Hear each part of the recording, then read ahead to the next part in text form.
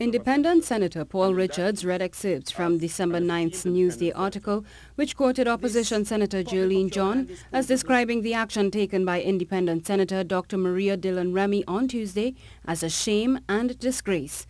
On Tuesday night, by a margin of just one vote, the Senate passed the Public Procurement and Disposal of Public Property Amendment Bill 2020. It was Dr. Remy's vote along with the votes of government senators which allowed for the bill to be passed by a simple majority of 16 votes. But the opposition senators' public ridicule of Dr. Remy's vote in favor of the government did not rest well with Senator Richards.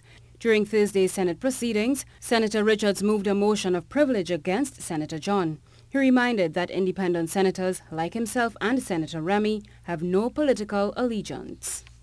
On the onset, Section 42C of the Constitution of the Republic of Trinidad and Tobago, the Constitution, it is very clear that nine members of the Senate, comprising the independent bench, are not chosen based on allegiance to any party, but based on their expertise and contribution to society.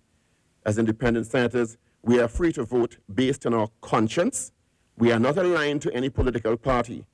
Senator Richards said independent senators are protected by parliamentary privilege.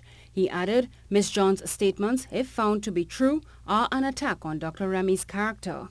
This damage not on, damages sorry, not only the independent bench, but also serves to bring the entire Senate into odium and disrepute.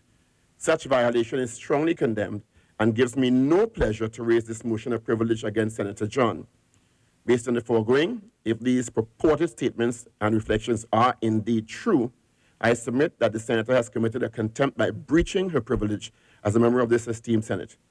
Senate President Christine Kangaloo is expected to rule on the motion raised at the end of Thursday's sitting of the upper house. Khrystal Wilson, TTT News.